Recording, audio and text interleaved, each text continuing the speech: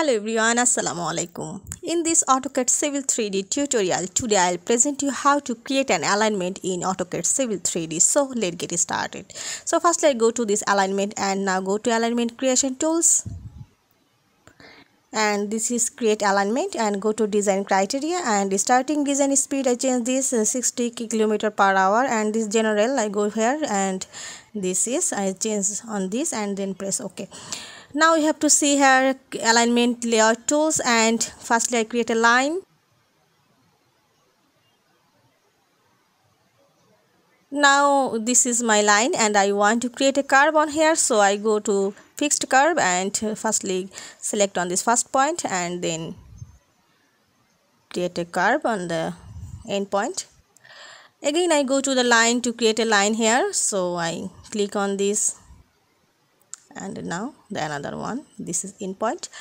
And this profile is created in here and this alignment you have to see here. So i need a pan so i command type p and see this.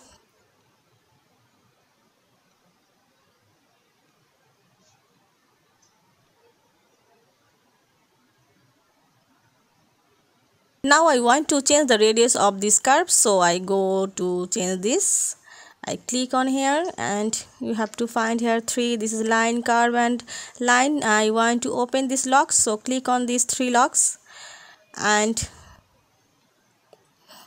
modify this curve. So I click on this radius of this curve and change it